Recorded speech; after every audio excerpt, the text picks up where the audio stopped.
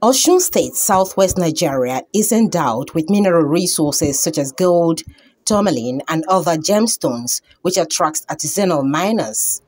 The activities of the miners, which are carried out in an unsustainable manner, however, poses great danger to the people's health and the environment, particularly the Osun River, designated as UNESCO World Heritage Site. Worried by this development, the Director General, National Environmental Standards and Regulations Enforcement Agency, says full investigation has been launched into the miners' activities and no erring person or facility will be spared. Following the reference reports, the agency had intensified its compliance monitoring of the affected areas, which revealed a large presence of Chinese miners who, with the aid of excavators, and related equipment mine and wash the minerals along or close to the river courses.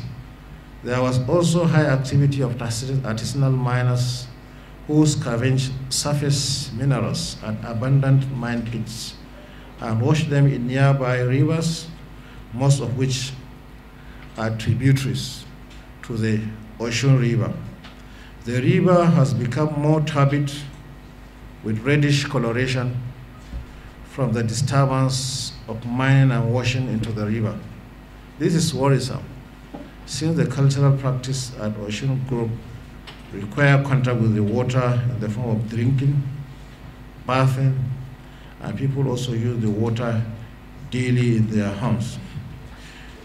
Also, the farmlands around were degraded to the extent of one of those, most of the plantations, the cocoa plantations, are known to collapse on their own, falling down most of the trees, thereby making people to lose source of their livelihood. Jauro also shed light on other environmental concerns, including the planned review of selected national environmental regulations to make them more stringent and incorporate emerging issues. The main objective of the 2022 National Regulatory Dialogue are to fill in identified gaps in some select national environmental regulations, delineate roles and responsibilities among stakeholders, and incorporate operationalization of EcoGuard into the national environmental permitting and licensing system regulations. The regulations slated for review are 1 the National Environmental Electrical Electronics Sector Regulations of 2011. Two, the National Environmental Sanitation and Waste Control Regulations of 2009. Three, the National Environmental Permitting and Licensing System Regulations of 2009. Four, the National Environmental Domestic and Industrial Plastics, Rubber and Farm Sector Regulations of 2011. Uh, number five, the National Environmental Food, Beverages and Tobacco Sector Regulations of 2009, and the last one, the National Environmental Hazardous Chemicals and Pesticides Regulations of 2011. There are emerging environmental issues and interventions that have come up since some of these national environmental regulations were developed.